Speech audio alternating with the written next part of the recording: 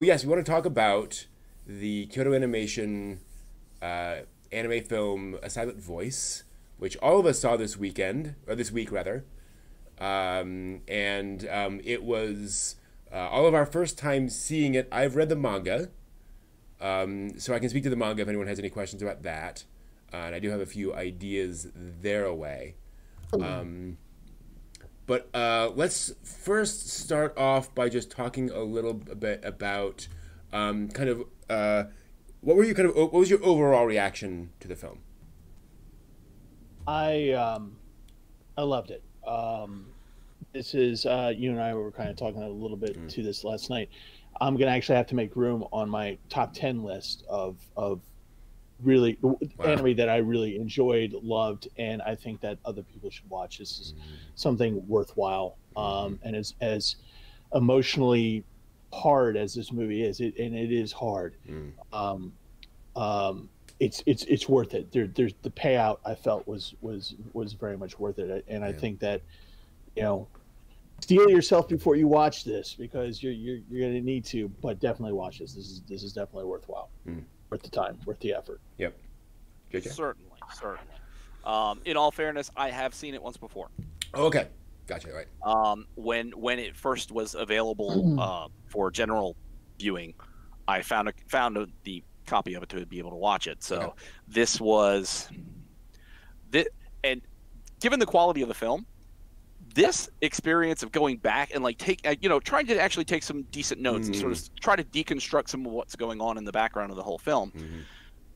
I was as emotionally moved the second time as I was the first time. Good. So it's like I'm sitting here just you know doing the Yeah. just like I did the first time. It's like that to me is the power of a really well done film. Is that you Yeah. you not only can you go back for some critical review, but while you're trying to be critical, uh, Mm. I, I mean, and criticality as in uh, certain characters. Um, that I've got notes here all about Mm. Shoya and Shoko, uh, some of the side Right. characters about what they Mhm. represent and how they fit in, and what this is.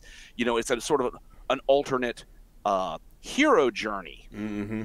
Yeah. and you know, it, it hits the points of the hero's journey, and like so, you know, stuff like that. And yet, I'm still crying and writing these notes down, and I'm just like, I know. I, wow.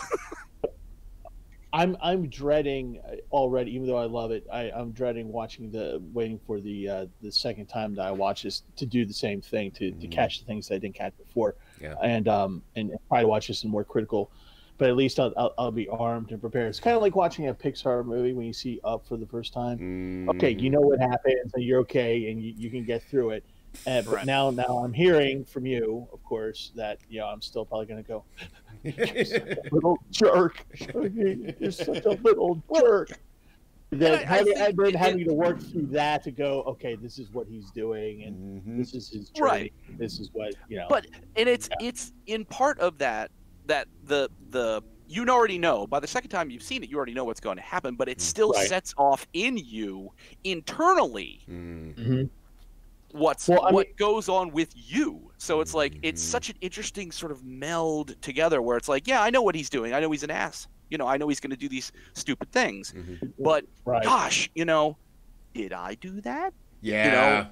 Yeah. was Right, was yeah. is this How many? How many? How many times? How many times did you feel Yeah, that you know, when I was in yeah. elementary school and some kid wore like, you know, really goofy shirt his like parents bought him. Mhm. You know, did was I that person? Was I like, eh, nice shirt. That's an ugly clothes. Be like, oh, Mhm. oh. How come you don't have any Ocean Pacific t-shirts? Yeah. Well, it makes me think of Ue- Uno Ueno-san Mm. when she says to Sahara when she's walking with Shoko in the hallway and she says, "Oh, her clothes are ugly." And it's just like, Mhm. Yep. oh, you know, you feel? Do you feel all those little cuts and in your Yeah. memory? Mhm. yeah, and, um, and you just kind of, and that was that was part of the hard part was Yeah. feeling, feeling those cuts and just going and then you know for some people it's going to be those cuts of did i act that way was i bad towards someone Mm. and then you know then the flip side of it is is is you know remembering how young you are and in that you know at that frame of mind Mhm. and just and just and just how everything's magnified and how everything Yeah. feels so bad Right. and you, you and you you know you kind of remember those moments in your life particularly when you're in eighth grade or sixth grade when you're Mhm. just becoming a teenager and you go the world is just crap it's a crap ball right now Yeah. Mhm. and but this but then it's mitigated by the fact that you know you're not dealing with these particular sets of issues necessarily Sure. um I, I, Yeah. I and, and I, I also think it, it not only does it touch on those things that you know that you've done, Mm. but also if you think about the um, uh, Nagasuka, the kid who has like Yep. the uh, the My Hero Academia hair. yeah hair yeah Um, if you think about when his bike's being stolen, Yeah. and people just yeah and he's crying for help, Yep. and Shoya is tortured to respond. hmm and his instinct is to walk away away Yep. right and it's like that t- you know what i mean so that touches Mhm. on the the thousand little cuts of was i a bad person doing things. Mm. or yeah. in the alternative was i also a bad person? So not a good person not a mm. neutral person but was mm. i also a bad mm. person by not doing something Yeah. to actively help And- somebody who needed help? And, and it's and, just like oh god it's hitting you from both directions. And that's one of the things I think is so brilliant about the story's portrayal of that bullying. The fact that it wasn't simply, you know, evil bully versus innocent victim. Everybody was involved in some level, you know, passively That's or actively. and that's what I really liked about that um, this this particular story was that that was real. Um, Mhm. You know, you don't see it at, at that moment, but after uh, Shoya is is basically demonized, yeah. and he's looking around and he's like, "Wait a minute, you and you," and everyone Mhm. just went, mm, "Don't know what you're talking about." you know? uh-huh. Yep. and and and they did that to him and it would lasted for years and Mhm. then you come to find out that damn near everybody in that group at that moment at that time with that one deaf girl is all doing the same thing really that he's doing it just in different Mhm. degrees and for him it's for shoya it's the it's the ultimate degree of just like i can't do this anymore i'm gonna jump off the bridge Yeah. at the beginning of, of the anime Mhm. And and but for each one of them it's their own little journey of trying to get back to this and he's just kind of like the nucleus of this of, of Mhm. adding Yeah. people in Well, And- I mean, it is it is the hero's journey because there's the trial, there's the expiation, there is the return. Mhm. You know what I mean? It's Yep. that classical piece. Um, a- and and the the what we all experience in different phases in our lives, whether it's school or work or other. Mhm. But you know, the broader you know social social psycho uh, idea of the in group versus Mhm. the other Mhm. Yep. you know, and that you have that as a much more raw, a primitive response in Yeah. elementary school Oh yeah. because what is unfamiliar other, you don't have the cognitive tools in order to en- to engage that in a meaningful way, so that you end up that your in group is the group that excludes the other hmm and then persecutes them if that person is not strong enough to stand up to that.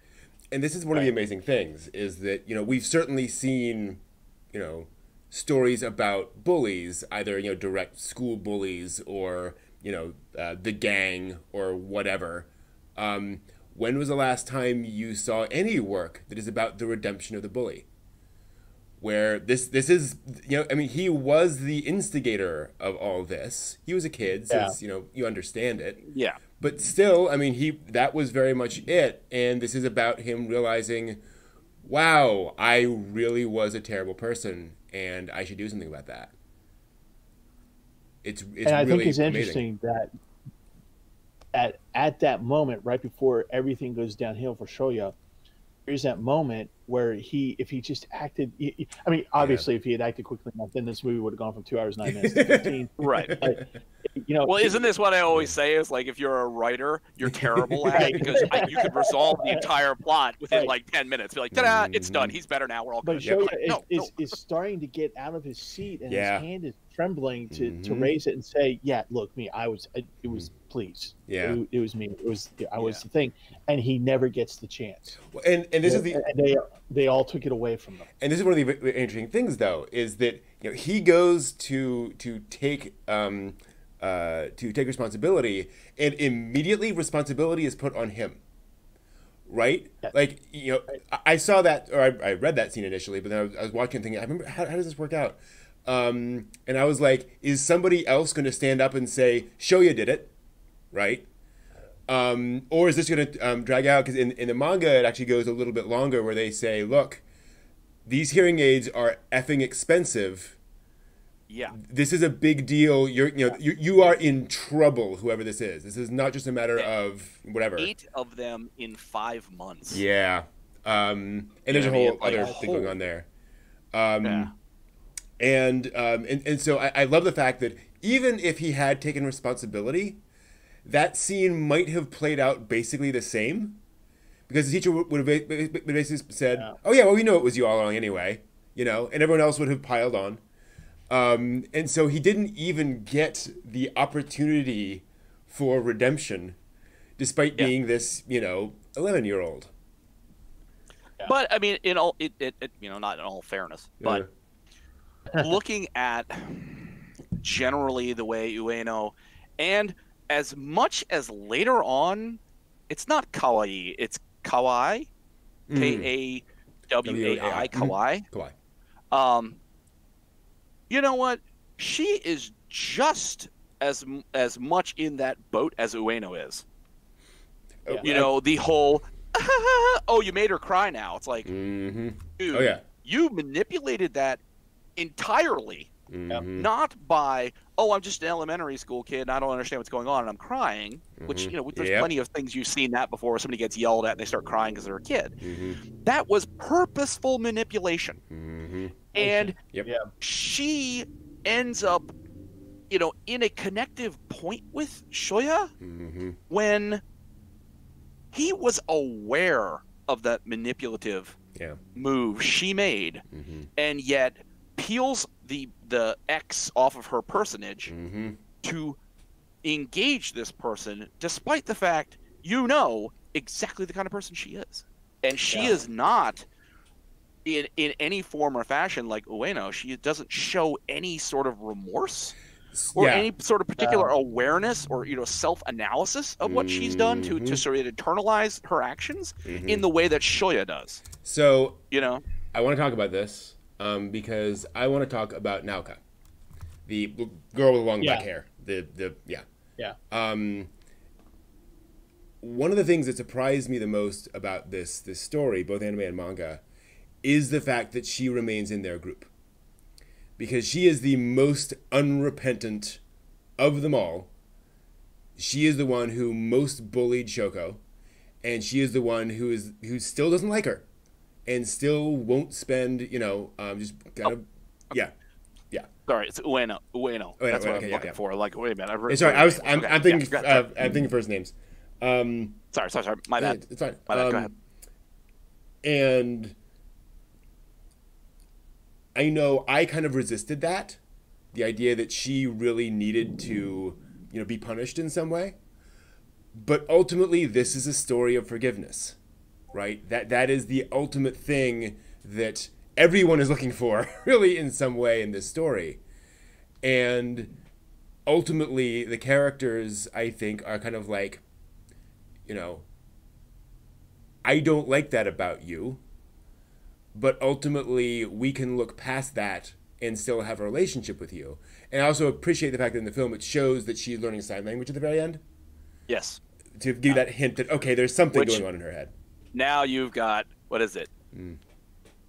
Yeah, yeah. Baka. yeah. Yeah, Baka. Mm-hmm. Um, no, no. Actually, it's what it- this. Yeah. No, no, no, no, I can't do that. I don't have. I don't I have the think the, magic. reason why it's I think it's the reason why the the it's so palatable for her to still be that way through the through the course of the movie Mhm. is for me the the sense I got from her. She was wrong. She was a bully. She did all these things, and part of it for me was the discussion she had with uh, Shoko, Hmm. Shoko on the on the Ferris wheel, where she was flat out honest. She, and she was, except for the very beginning, honest about this whole thing about Yeah. how she felt about it, how she felt Yeah. about this girl, didn't like her, felt that this girl was taking stuff away from her, and you know, just just outright never really lied about how she felt Mm-hmm. about it, about Yeah. the whole situation. She hated the fact that she kept uh, Shoko kept saying, "I'm sorry, I'm sorry, I'm sorry," and he's just like, "Why are you saying you're sorry all the time? Mm. I'm sorry too. I got crap going on in my head. This, this is the Ferris wheel conversation. Yeah. I've got crap going on in my head. I've got all this crap that I'm going through too. All right, there's stuff that I am dealing with over here, and it sucks. And I understand that you have something going on that sucks, but I still hate you. There's a certain level of honesty, and I think that Yeah. the entire group understands that. Mm-hmm. And I think she's, and I think for her, the forgiveness is the, what she's asking, what she's really looking for is the one moment when, as she's sitting next to, to Shoya in elementary school, where she could have just said, Well, yeah, he's the ringleader, but you know what? Mm-hmm. Me, this person, this person, and this person, or at least very herself saying, Yeah, I was in on it too. And I think that's what she's apologizing for. She's Yeah. apologizing for her own part of the whole mess. Mm-hmm. And that's what the, why the group is understanding of her and, and bringing her in. But Mm-hmm. you know, I, I'll, I'll be honest. I'd, I'd be like, yeah, I'm going to keep it, keep it away from that. You know, just, Well, I mean, Exactly. and that's the thing is like for where you have this show is sin and redemption. Mhm. It is not very poignantly addressing the issue of absolute forgiveness. Oh. You can have Shoya redeem himself, Mm-hmm. but what is blatantly clear is he cannot undo what he has done. Right. Yeah. Yeah. And he Yep. lived with that burden. And as much as Shoko likes him, Mm-hmm. and you know now is starting to to understand more about him he cannot undo the damage he did Mm-hmm. When he looks at her one ear with one hearing aid and looks at the other with a scar oh, there was a star. Mm-hmm. you know Yeah. that is a consistent and constant reminder that he can seek forgiveness but redemption is your journey Yeah. Exactly. somebody who is you know going to forgive you one however you live with the fact that you have made an an unchangeable path change for those people you know what i mean Yep. you have adjusted the way that their lives were going to go and nothing you can do to stop that it, it's one thing that um, obviously they didn't have time to get into in the, in the anime film, but in the in the manga they get into uh, Shoko's mother, um, the the battle yeah. axe. Very, Um, very interesting character. I thought. Yeah, um, and they, I mean I, that is I ex- love his mother you know what i mean i wish they had done more with with with her mother her Not mother, yeah, yeah, her yeah, yeah. Um. Shoko, Shoko, not Shoya. yeah. Um, because one of the things they, they kind of get into later on in the manga is that she has spent the past 12, 15, 18 years of her life battling with a world that is at best indifferent to and at worst actively against her daughter. Um, Since this is we're in spoiler mode here, um, the reason she's raising Shoko and Yuzu on her own is because her husband's family divorced her for having a deaf girl. There is a term for people born with deformities, deaf, blind, Mm. and it's not a good. And I'm I'm blanking on the term, and that's fine because it's not a very good term. yeah. and it's it's it's it's um but it, there is a it's and it's pervasive it's still around today where there's a discrimination it's, it's outright discrimination Mhm. uh, for people like that Yeah. and so you know that's one of the things that i kind of as i was watching the movie uh, you know uh, you know one of the things that we used to do in our theaters that we set aside a performance for deaf patrons Oh, we would nice. have asl uh, people doing sign in a part of the the theater so that the the deaf patrons could see that as they're watching the show. But you know that's our society today and what they're dealing with in japan is completely different and Yeah. there is and i think part of it has to and, I, and, and if anybody really knows this for you know in detail Mm. correct me if i'm wrong um, but i think part of it is, is that it makes you different and that's the Yeah. whole point is Mhm. that it makes you Right. different and it's okay to excel but it's not okay to excel to be different hmm Yeah. Well, again, that's the Yeah. that's the in group versus the other. hmm It's like having you know having different colored hair is not make doesn't not sufficiently gravitate you into the other. right But having a physical disability of a handicap of that Mm. sort, Mhm. um, and I, I, I hope this is changing. I hope that that, that you know this the society of, of, of the world is changing towards Mhm. it. But um, a, a better and a more un, enlightened understanding of the you know people who their abilities are not determined necessarily whether they can hear or they can see. They, they you know Mhm. they're still people. hmm Um, Right. But you know, I remember years ago reading stuff that said Japan still was lagging behind in Hmm.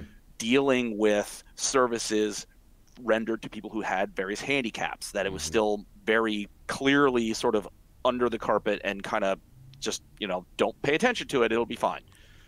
There's an article I read, so I'm I'm not speaking for it, but who described this. There's a there's a manga that came out a while back about a woman uh, who had a son born on the autism spectrum, and the challenges of that, and said one of the difficulties is in a society that um, that very much rewards um, fitting in with a group. When you are by who you are inconveniencing people, right? Like they have to do things differently to interact with you.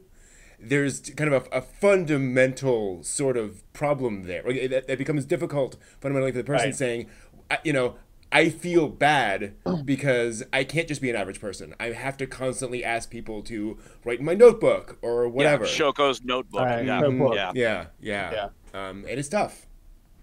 Yeah.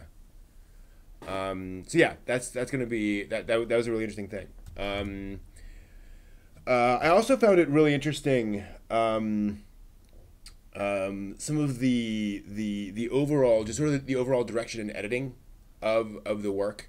Um, Given this is a seven volume manga, this movie never felt rushed. Um, No. you know, no. it, it felt like a really I thought the pacing was perfect hmm Absolutely. Um, and especially in, in a story where you are taking your time with scenes. You know, when you are taking, you know, spending time with them on the bridge. You know, this is this is something. This is not an action movie. Like you have to really soak in some of these sequences. Um, and with a, there's a lot of characters.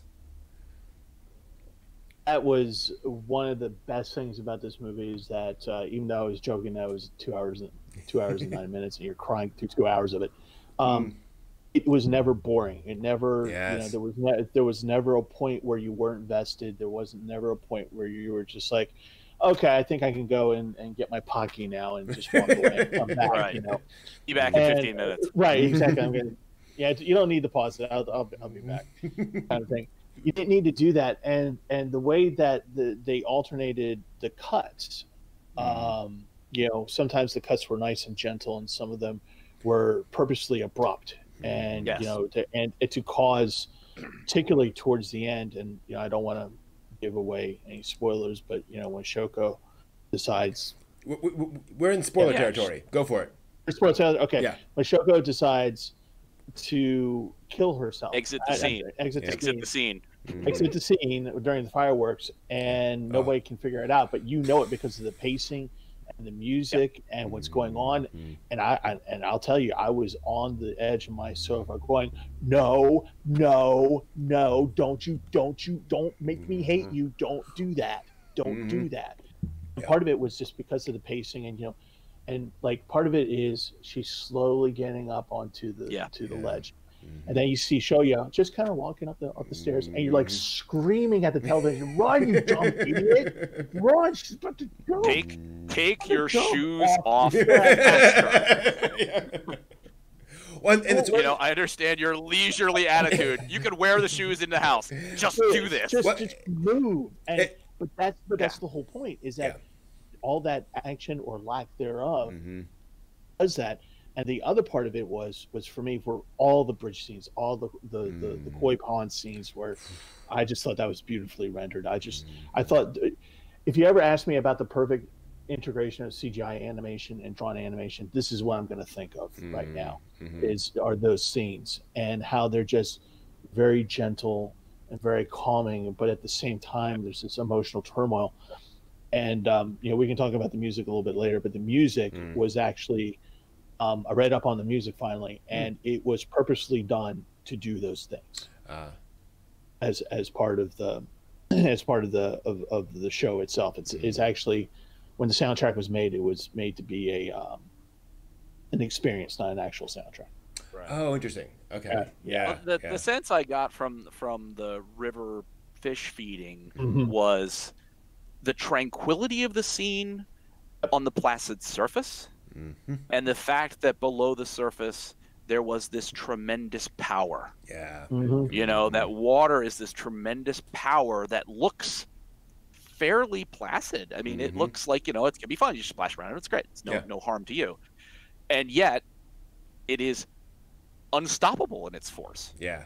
and, And Yeah. moves things. You know, And- and here we have this story of people who are emotionally flowing forward like water yes. in an, on an unstoppable Mhm. level. and Um, and one critical comment. Well, you know, go Mm. ahead, Brent, Brent. I was just gonna say, and you know, they established at the beginning, it is also a way to kill yourself. Yes, Yes. yes, it is. You know. Although I didn't think that the bridge he was choosing was high enough. But It's- it's a yeah. matter of matter of distances. Mhm. I found it very interesting. Mm. Psychologically, the idea that attractive people garner more attention, Mm. And that this story was not told by average-looking people. Mm. hmm Shoya is kind of average. He's got the little beady eyes kind of thing going Mhm. on, so he's sort of generic-ish. Mhm. But all of the female characters involved in the show Yeah. are all attractive and they're they're eye-grabbing. Oh, I mean, halfway through, this threatens to turn into a harem series. Harem Yeah. movie. Yeah. and that's what I was really kind of, and it, you Mm. know, it got me to thinking about the psychology of that, where you ha- you place an attractive person Mhm. asking questions in a plaza, they get more responses than an average-looking person, and I'm, I'm not Mm. quantifying what average or good-looking, I, you know, whatever people's personal preferences are, Mm. but objectively for these studies, it was somebody who was attractive versus somebody who was average-looking Mm. and the average looking person did not garner the same attention. Mm. hmm So I thought this is a very interesting story because you've you know the story itself is amazing. What would happen if you made everybody normal, everybody Mm. average looking? hmm Would you get that same connectedness to Shoko if you know Yeah. you, you didn't find her you know kawaii or moe or whatever you want to you know whatever or any of those Right. girls could you would you know would you pay that much attention and I, that's where i thought was very interesting their progression of sahara. Hmm that she started off as as a sort Yeah. of you know a, a, a chubby little little kid. Hmm and that as she grew up you know hmm sh- both emotionally presumably and and just in general hmm she elongated and became this very you know Yeah. tall and attractive girl. Hmm and you uh, you're paying attention to her hmm because she's this tall attractive girl like everybody else in there. And it's like uh the only person who really wasn't attractive was the guy who I'd looked from uh was uh uh Nagatsuka. Yeah, Yeah. the, Mm. the little Boku no Hero kid. Hmm uh Naga, Nagasuka. Yeah. he he had that averageness hmm that I'm not, you know what I mean that just Do- from the from the watching perspective I would be curious to know if you could make the same series with people who looked average like him if it would have garnered the same kind of reactions and the same Mm. kind of popularity hmm I hate to say you. I- that but Well, no, there's. I think there's a, a point to what you're saying here Yeah. because that particular character, I found that the reason why that he, uh, to me, Mhm. uh, the reason why he was drawn that way was because when you look at the overall movie, where is the comedic effect coming from? It's coming from the guy who does not look like everybody else. Yeah. hmm It's coming from the guy, and he's nature. He's, and he's good-hearted, and he's nature. He's good-hearted natured, You know, he was never part of the whole, you know, the, Mm. the whole mess, Yeah. and Right. he was kind of outside of it. And but he came into it, and he was one of the first ones to, not the first ones, but he was one of the more easier ones to go back to Shoya and go, okay, I know you were crappy, but you know what? You're my best friend. Hmm and you know that means something. And i think that might have been intentional. What you're pointing out is making all these people looking beautiful and maybe making the beautiful people was was the point to make them average and to make this one character not average because of his stuntedness and his the way that he went through the world. Well, what I find so interesting is that um, Shoya and Shoko, well, less so. Um, uh, Shoya definitely, basically all of the male characters look very much like their designs from the manga. All of the female characters look like they, came, they come out of K-On!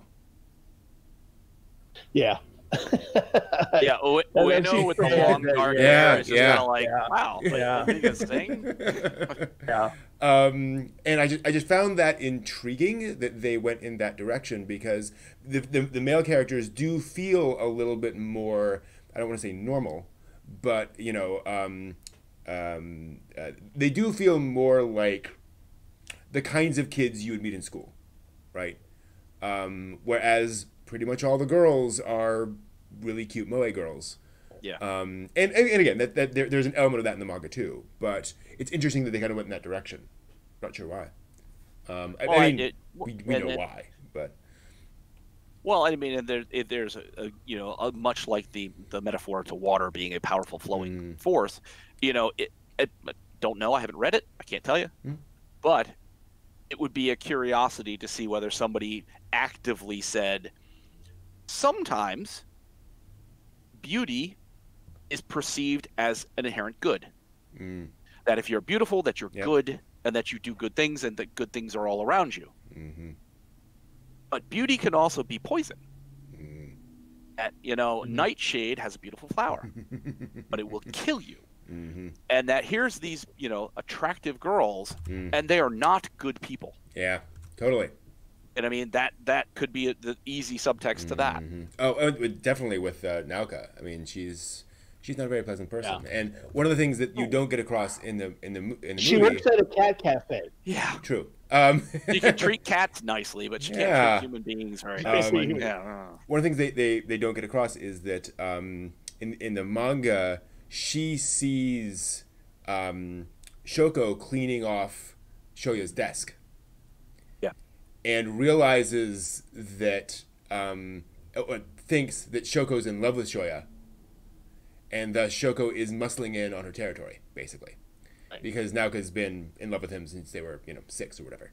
Yeah. Um, so that's kind of where a lot of that comes in. Is all of these, you know, kids seeing things and making assumptions about each other, and because Naoka is the pretty girl, you know, and everyone kind of fawns over her, and she can do no wrong, she can lead the pack in in doing pretty much whatever.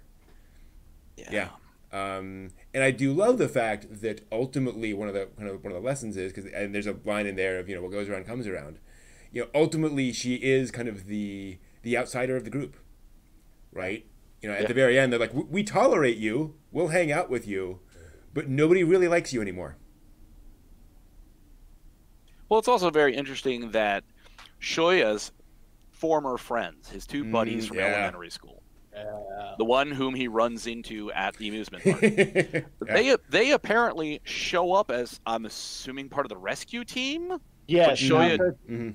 Jumps in the drink. tell- Naoka, um, Ah. tells him Mhm. Shoya that they, that those two rescued him out of the river. Yeah. but they did, but they didn't want him to know that. Mhm. Right. Um, and do you notice they never come around? No, no. Ueno-san, she comes, she's orbiting somewhere Mm, in yeah, there yeah. in Mhm. her malicious orbitness. um, and Kawai, Kawaii, whatever the hell, that girl, the girl that had the glasses, the yeah, yeah, yeah. hair. Blonde. Yeah. Um, she has inserted herself and ignored what happened. Yeah. Great effect. Mhm. Um, so you know, you see like some parts locking back in in kind of an interesting kind of way, but those two guys never lock back in. Mhm. Yeah. And it's like Well- that's an interesting redemptive story in and of itself because Ueno-san, she, you could argue this is the closest to redemption she's gonna get Mm-hmm. is to interact with Shoko, even though it's not friendly, even though it's not gonna be something where they're gonna braid each other's hair and bake cookies. um, Right. it's one of those things where at least she's coming to terms with what she what's happened what she's done and yet his Well- male friends there just seems to be nothing in there for them to have their reckoning with one another yeah. Um, Oh, I, because because I think they already had their reckoning. yeah they Um, dumped him in the pond They dumped him in the pond, but, but when you watch the sequence after he his failed suicide attempt, and then it goes into the "Who Is My Generation," which Mm. does this great clip oh, of him showing of showing Shoya as the big man on campus, and he is really just you know um, he, he's bullying the one friend, the, the one with the interesting mullet, mhm. the mullet. Yeah. And he's the one who's pantsing him and get him in the headlock and all this stuff. And Mhm. the other friend, the, the guy with the with the two cools for Flag. school, too school, too cool for school eyes, where Yep. he's just like, yeah, I'm too hip for anything. um, you know, he, he just kind of goes along, and I guess he once he decided that he didn't need to be the second fiddle anymore. Mm. Once Shoya got his just desserts, that particular little dynamic said, "Oh, you know what, Shoya, you're on the bottom now." Mm. and so he's on the top. So you know the the flag boy is on top. Mhm. Now he's not playing second uh, second fiddle, and he's driving whatever little group he's in now. Mhm. And they just totally left him, and Yep. that's Yeah. and and they the reason why they never came to a reckoning or never came to come back to Mm. uh, to really be you know hey forgive us is because they were the victims of Shoya's bullying for so long. They Mm. just said that's a good point we're the bullies now. Yeah. Mhm. So they're the bullies. And the reason why they don't want Shoya to know that they Mm. rescued him was that, you know, we did it just because you were hurt. And Mm. it would be bad on us to not do this. I mean, I could totally see them doing what Shoya did, which was, oh, look, did it go Shoya? Eh, Boom. Mm. Yeah. Still alive. Did we do anything? Poke him with a stick. Eh, Mm. you know but they in the end they actually go yeah well i guess we're obligated to do this so you know, they pull them out of the river but they don't want any thanks they don't want anything Yeah. from them Mhm. they're, they're like we or is or is that in and of itself their reconciliation maybe That's that's, it. it, maybe Yeah. they say okay we're all You equal know, now. pulling him out of the Mhm. drink says okay you know what we're even yeah, that's we're it even. we don't want to Yeah. talk to you again we don't have anything to do with you but that's it Mhm. you know we traded back for what we did to you now we've cut we've done this stuff and there you are Yeah. Yeah. Uh-huh. Um, speaking of, of of that, I wanted to, to bring up something. I, I don't want to turn this into you know manga versus anime, um, although that can be interesting. Um, uh, there's one thing that the manga did that I wish wish they'd kept in the anime, and there's one thing the film did that I think was better than the manga. Um, in the manga, when Shoya first goes to meet Shoko um, in junior high to give her the notebook back, um, to sort at of at the school at the school, yeah, to, to sort of to, you know to be yeah, that final moment. Um, at the end of that conversation, she does this as he's about to walk away, which, if you've seen the film, means be seeing you. later Yeah. And that is what keeps him from going back to com- commit suicide. Because he realizes, crap, she wants to talk to me again. I can't commit suicide until I've resolved that thread. Essentially, I put myself in that situation. Uh, you know, um, it's it's kind of unfair to then leave her hanging. I have to go back and talk to her uh, again turns out, and I forget if this is explicitly stated or just heavily, um, you know, uh, implied. When they had that conversation, she realized something was up, and she deliberately did that so that he would not go do something stupid. So she literally saves his life initially huh interesting and that was one of the things is that you know and it's, it's one of the things that again you know it's not a, a plot hole but watching the film i was like okay he's done all of his things he's given it back to her he's had this awkward conversation you know and then he decided not to kill himself like what exactly was going on there i felt that was a little bit stronger motivation um, of understanding that that that thing but then I like the ending of the movie better than the manga. I'm gonna say. Okay. Okay. Um, Because- Well, because- Brent, Brent, going back to, to Yeah, yeah, yeah. the idea that, Mm. of her saving him with "See you later." yeah.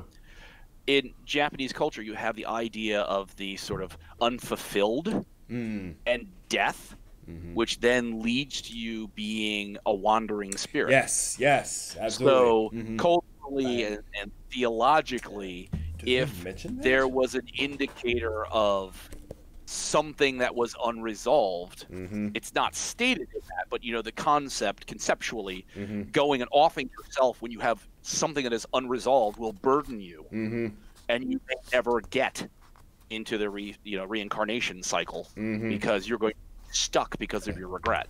mhm. No, I Yeah. think you got something there because you know in the movie, uh, you know his mother makes a big deal about it too Mm. about the calendar. The calendar's ripped after that. So there's no more calendar after that. Mhm, And he's and there's that whole sequence of him going to his job. Thank you for letting me have this job and just paying the money, paying his money back. Yeah, paying his back, mom back. and all Oh, yeah. this and. Resolving I all think you the got a point there. I think it you got a point. Absolutely. Yeah, no, I think it's a good point. I was just reading to see if that comes up or not, but I didn't see it anywhere. anywhere. Well, it's just in, in just observing that Yeah. part because I didn't No, think I anything more about that. The the depth though that you got out of that that- Mhm. that dovetails in very very well with the cultural aspects that Mhm. you know necessarily we wouldn't just off the street know watching it in a theater somewhere. Absolutely. So Yeah. it's interesting conceptually. hmm Um, and the manga ends with them at graduation. Um, and so it's sort of a hey, we're all heading off into our lives post school, and this is going to happen to this person, and you know, this person is going off to this, you know, pursue this career and so forth and so on. And it ends Okay. with um, Sho- uh, Shoko and Shoya basically hand in hand going through a door saying, you know, I'm looking forward to our future together, you know, whatever that may end up being, wherever we end up. And that's how the manga ends. And I felt that the the imagery of the film ending of him finally, you know, taking the hands off of his listening Yeah. voice, all blah blah blah, um, and finally opening himself to, up to the world was a much more satisfying sort of ending to that. It's nice in the manga to say, "Oh, she's gonna do that, he's gonna do that." You know, those that's where they're going. But I thought just, um, and again, film different than manga. Um, I, I think for a two-hour experience, it's more satisfying to have that kind of button on the end of everything.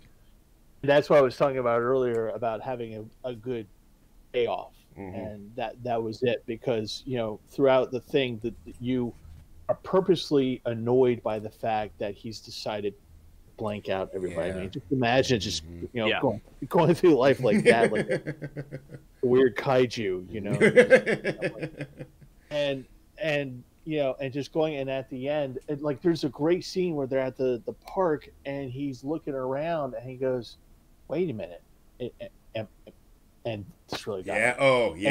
And Yeah. I, am, am, I, am I allowed because I'm such a freaking horrible person? Yeah. I, is it okay to be happy? Is it okay to Mhm. enjoy these people around me and just to be here and and not doing this to them and just just being okay? Oh. Is this okay Yeah. for me?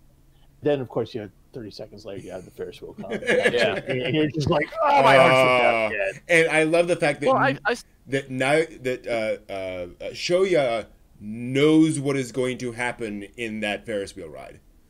Like when those two get in, he's like, "Oh crap! Everything is going to come down now," and he's right. which Yuzu knew. Oh, just take my camera Yeah, with you. yeah, you know? yeah. Like, oh Yep. boy. Can we talk?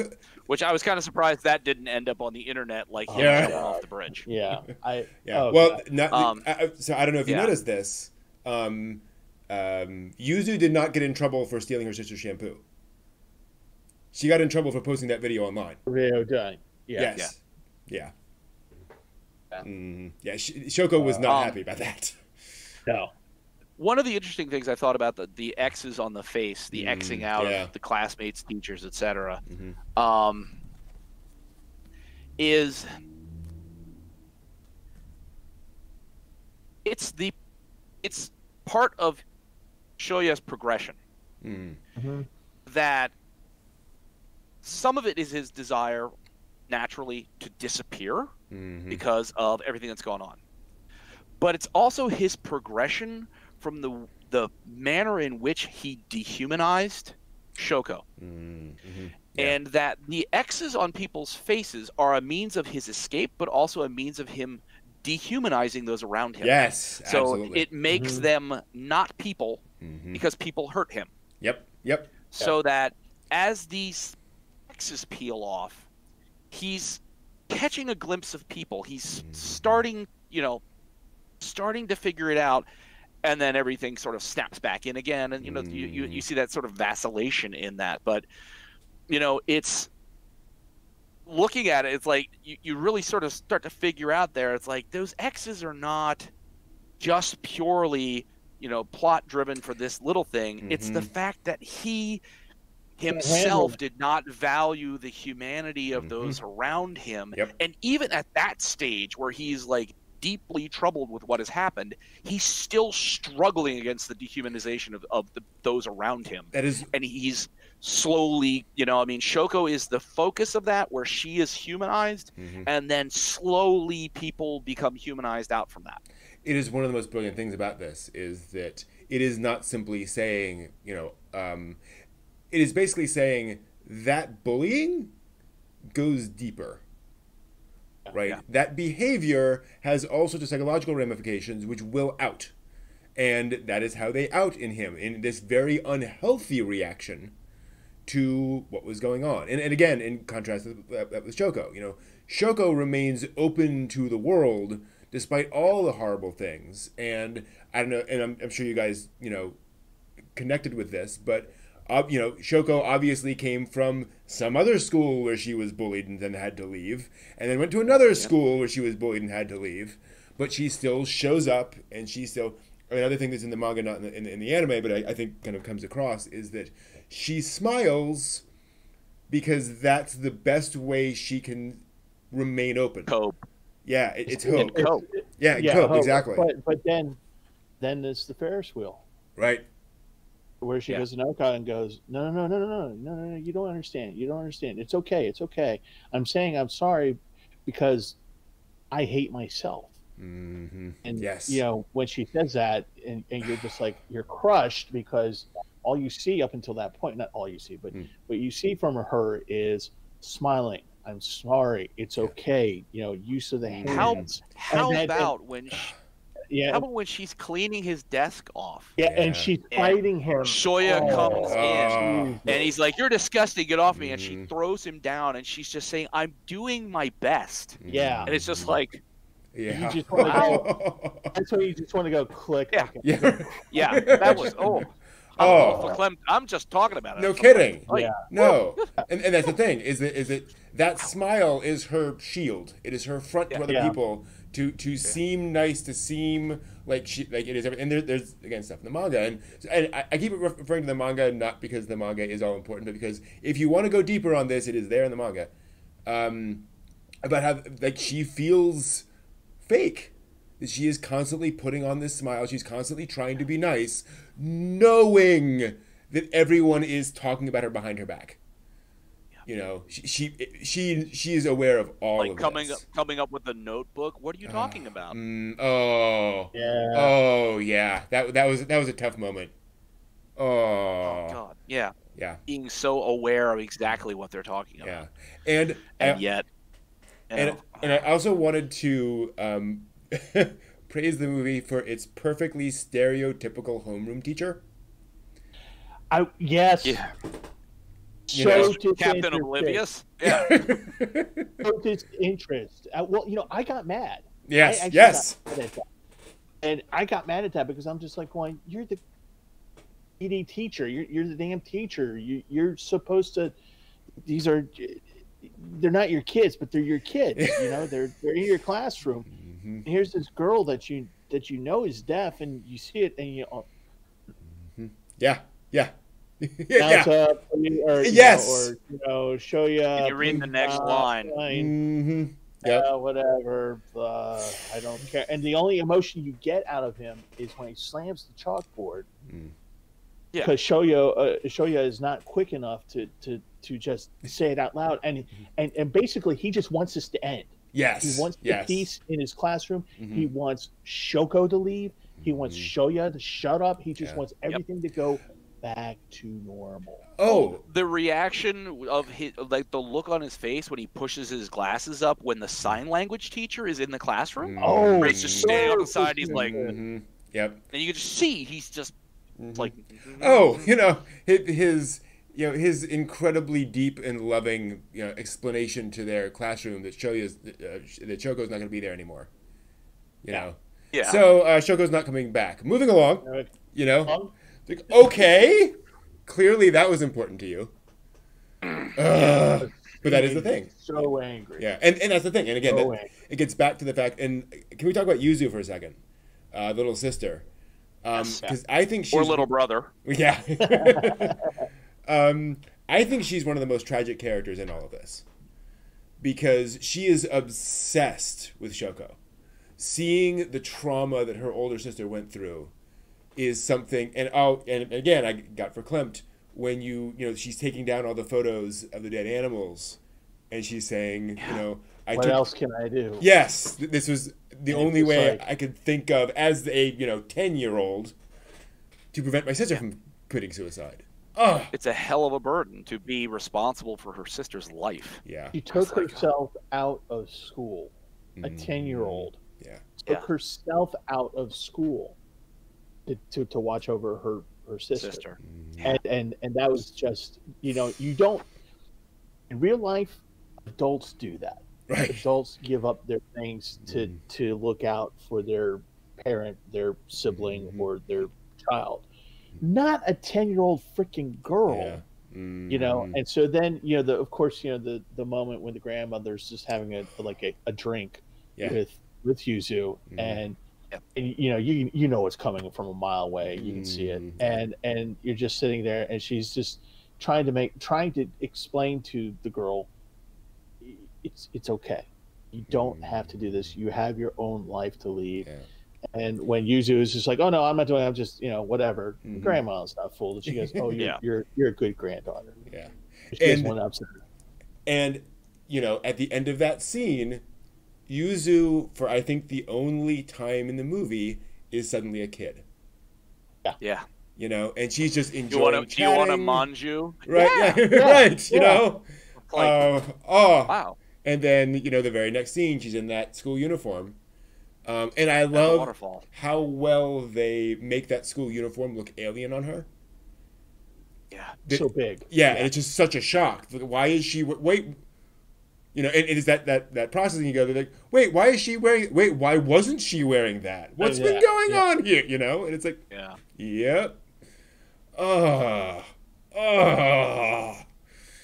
Yeah, it was the hell of a film hell of a film. Definitely a good. movie. Absolutely. Um, want to see if there's anything else I wanted to bring up. Um,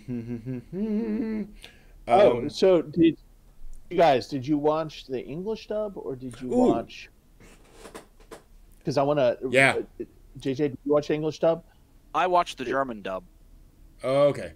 I heard that's a good dub. it sounded like an ang- it sounded like an angry bar fight kidding no So i watched reason why- i watched the uh the sub oh, So, okay. okay. I watched the English dub. okay Okay, so in English, is the English english dub, dub good well, there's an interesting thing about it. Actually, it is. Mhm. Um, uh, surprisingly, surprisingly good. Um, the what's what's the guy's name? Hmm. Robbie Daymond, Mm. who does the voice for um, for the older Shoya. hmm um, Okay. does does a really really good job with. Yeah.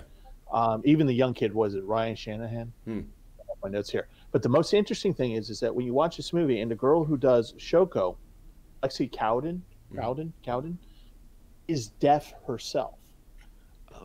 Yeah. So when you watch the dub and you hear her voice, it really does sound like she's deaf because the voice actress is deaf. Hmm right. Actual it's an actual thing. So and it works works very very well.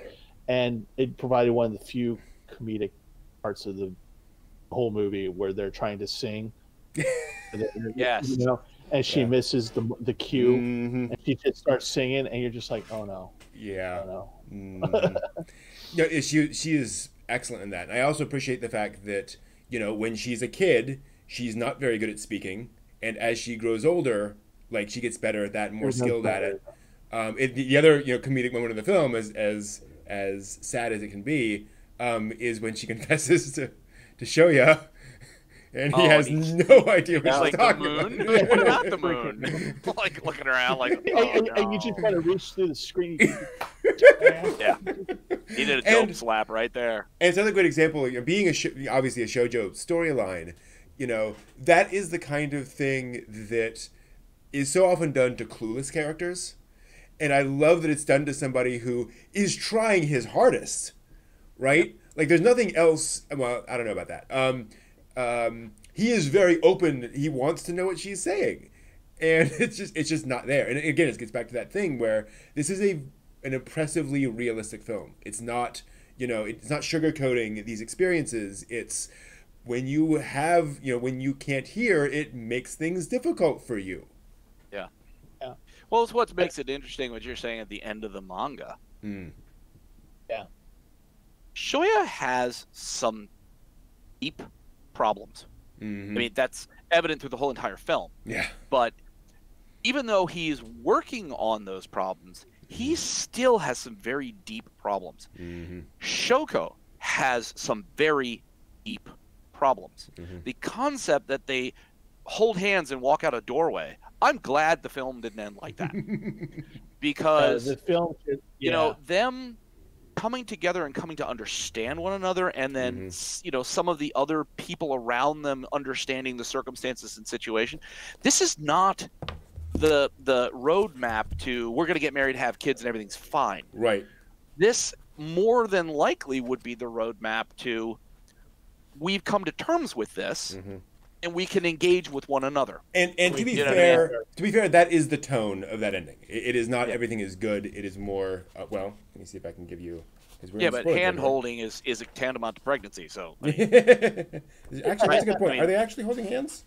Um, they are. Wow, that is. You're right. That is so actually. uh, so they're pregnant and married. Yeah, So right exactly. Um, I mean, I just what more do you need to to, to see? right? Oh yeah, That's- that's Yeah, that's yeah. that's indicative No, of the happy ending. Yeah, Mhm. Uh, not that Um, happy ending. Not- yeah, no, yeah, but yeah. I mean. Um, but that's the thing You is that, and and I, I will give the and I you know I think this is a reasonable choice for an ending because he basically she is giving them a a positive ending, looking towards a future where they can at least they're at least aware of their problems and can work through them. Right. Um, um, but not sugarcoating and saying everything's gonna be happy now. Um, but still, it just it, it felt like an odd. It felt like a very classic shojo ending to something that is not a Yes. classic shojo story. Yeah, it is far more complex than that. hmm Yeah. Um, I'm trying to see what well, other, some of the other notes that I have. Actually, speaking of comedy, there are two comedic beats um, during the big climactic scene on the bridge when Shoya comes running up, and I was surprised at how well they worked. Um, where Shoya comes running up, and I'm trying to remember now exactly what they were, because um, I know um, he says something and she laughs at it, um, and then she says something and. Um, uh, that make that makes him laugh, which is kind of, kind of an odd moment. And the you know, I was glad to see they they put in a little bit of levity there, of just you know, a little bit of the characters having a moment to kind of react to each other, and then get back into the to the depth of the drama. Um, there's just you know it was it was a and again getting back to this whole pacing editing thing. Um, I, I was impressed that this would be a, a, a movie that would be easy to get maudlin, to just be you know yeah, tears the entire weighty time. and depressing. Yeah. Mhm, yeah, and they, they managed to, to weave that nicely. Right. Um, yeah. One of the notes I had was about literally the fall from the apartment, Mm. um, and how his attempt to so hard to watch. yeah, Yeah. his attempt Mhm. to save Shoko Mm. is um, it's the sort of it's the completion of Shoya's internal collapse, Yeah. and that that fall is if you if you want to you know theologically make it as a, you Mhm. know akin to the fall of Lucifer Hmm. You know, he's falling from this height. Mm-hmm. This sinner is falling from the height, and what he ends up is falling into water, Mm-hmm. symbolic of washing away of sins, Mm-hmm. and he emerges from the water into his new life, Mm-hmm. Yes. where he saved her Mm-hmm. In this in again his journey the hero's journey you know he's now been uh, washed of some of his burden Mm-hmm. psychologically he's not escaped from it but he's washed from it enough to be able to function Mm-hmm. and then he can move forward in the new life Mm-hmm. um, Yeah, it was that- a real big reset moment for him. Yeah. Um, when he falls in and goes, the, the water's cold, and then he starts Oh, bleeding. and, and warm And he goes, Yeah. "Oh," and warm. yeah And then he just kind of fades to black. I'm going to be honest with you. At that point, on the sofa, as I'm screaming, no, no, no, and wondering if Mm. my neighbors are going to call the 911 and, and and screaming at the at the television, thinking Shoko's going to jump, and you know he he kind of saves her, and he falls himself. I literally was like, "Oh, great, she's going to jump down in with him too." Mm, Now it's mhm. going to end. This is at well, I thought for a second he was going to swing her into the porch below because her feet were just Oh. near the edge of the Oh, porch yeah. below. I'm like, Mhm. okay, porch.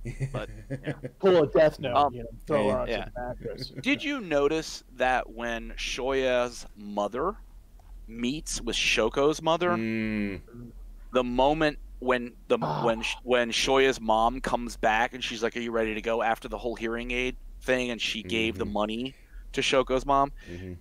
Did you notice anything particularly ear related in Mhm. that moment?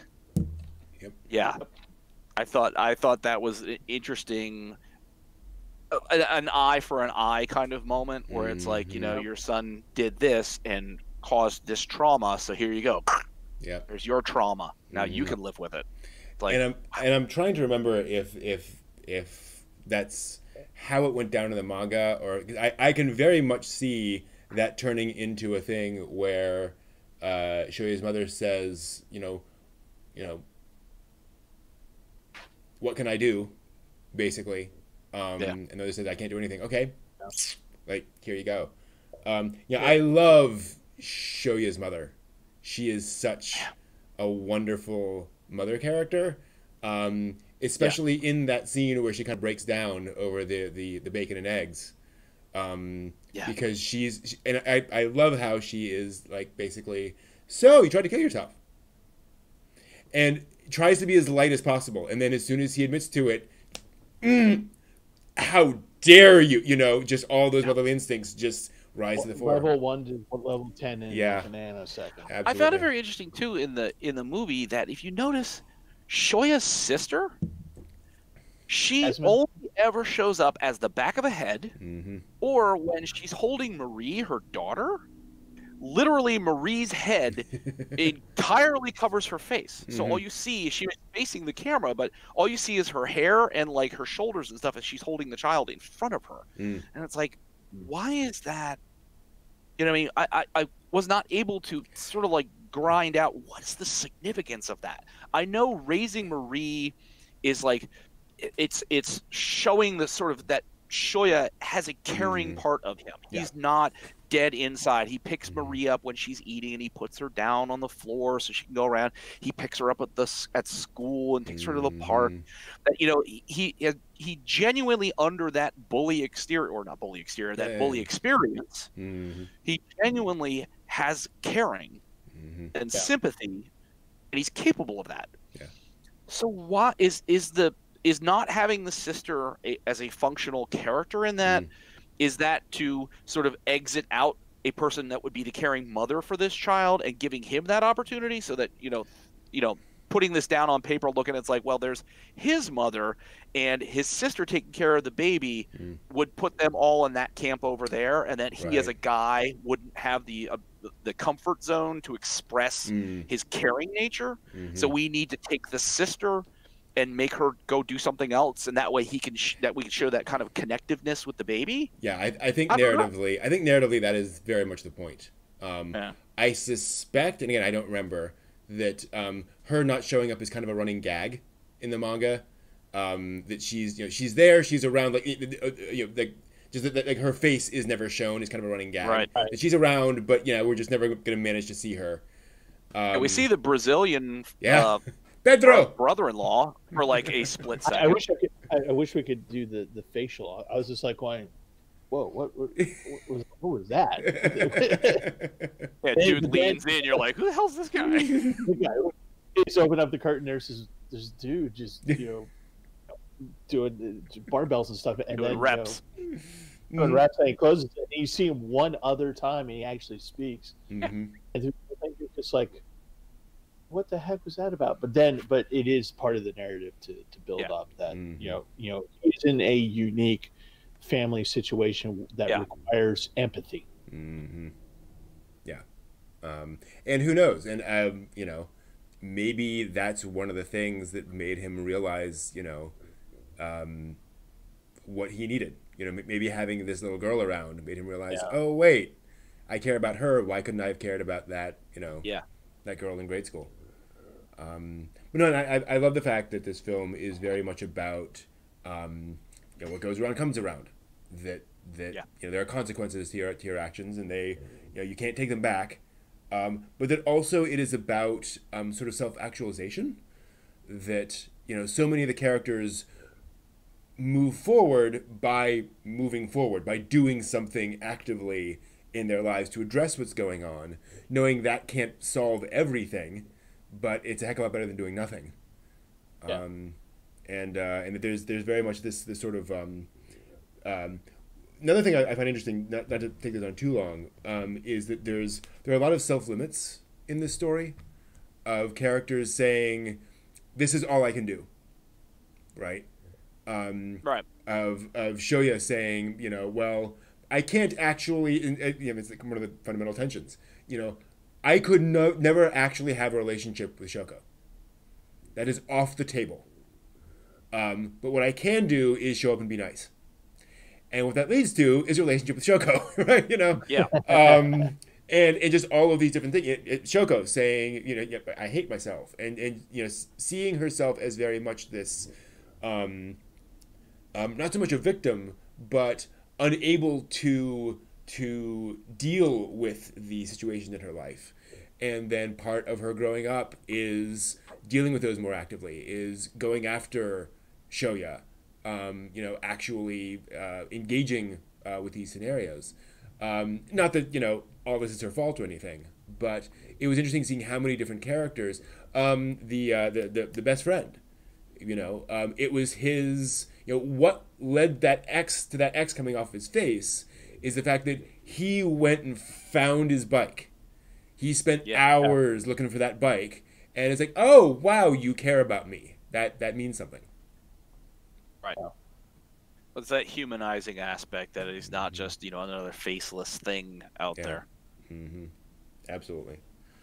Um, cool. Anything else we wanted to talk about? Any other details? Speaking of music, Well, I I, just- I, I did want to call out, and I wanted to get your thoughts on this, Steve. I found it really interesting that that fight sequence between Shoko and Shoya as grade schoolers has this Yes. very calm piano music background. So when you when So that's so you can cry more. Yeah. Yeah. so you feel more. Um, so the guy, let me go to my notes here.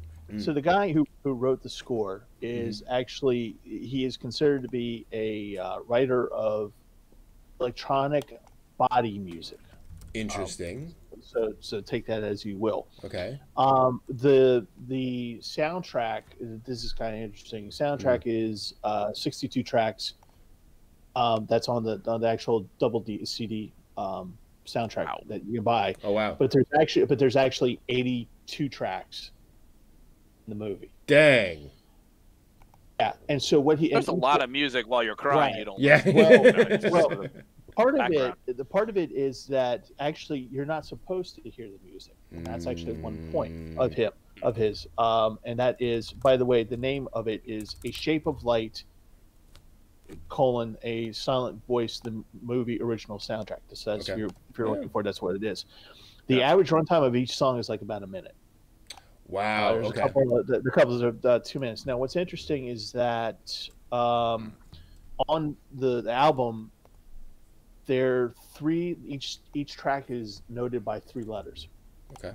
and the three letters mean something. So like mm. there's one that's heartbeat that equals heartbeat, and it's actually the the the tone of the music is just supposed to be as they're looking at each other, and the tone is just mm. duh, duh, duh, just the you know the heartbeat. So all of this is just about how the music is supposed to set up the tension or the lack of tension right. the movie itself. Now when it goes into three letters inv as because he is actually and i actually know this this this piece of work by johann sebastian bach which is um, invention number one in c major. Okay. Um, it's a total rip uh, so okay. there's uh, so the first cd has about i think like 10 um, variations of that piece of music. Mm. He attributes it to to Bach, by the way, mm, but mm. it's it's in there. So the fight scene, the reason why that's so calming is because it's supposed to. You're supposed to, on the one hand, see the violence of this happening, and music is supposed to be her innocence in telling him, hmm. "Stupid fool! I am your friend. I want to be your friend. This is yeah. what this is all about. And I don't know how to tell you. And I'm so angry and frustrated, and you're just not getting it. Please be my friend. Mm. You know, and that's that's what that. So it's uh, there's that chaotic mess going on. Calmness is just basically just in contradiction. It's supposed yeah. she's supposed to be calm, but the music is, mm. but she isn't. Interesting. she's being chaotic. She's yeah. being chaotic.